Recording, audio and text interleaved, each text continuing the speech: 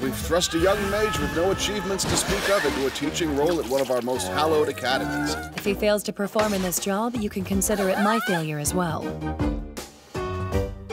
I'm gonna lodge a complaint on behalf of the entire student body. Okay, today's class will be self-study period. Because I'm tired.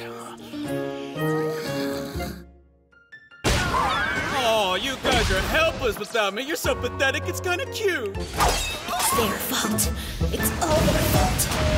They're the ones who took Glenn away from me. I hate them.